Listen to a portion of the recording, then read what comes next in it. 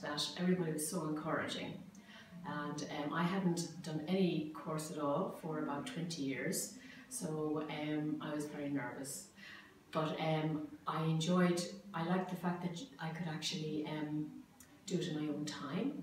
I, could, I had, um, I was working, so I could, I could work in the evenings, I could come in on Saturdays, and um, I just generally enjoyed the whole process. Well, this particular course, I felt that a lot of the emphasis was placed on the business IT with social media. The social media course was actually much longer than I imagined it was going to be, and just to be aware that it is a much longer course than uh, you think it will be. I'd like to really thank everybody here for their encouragement and there were times when I really wanted to give up and I thought I'd never get through the year. But I'm really, really proud and I'm really happy that now I have a, a qualification. So thank you, Pitman.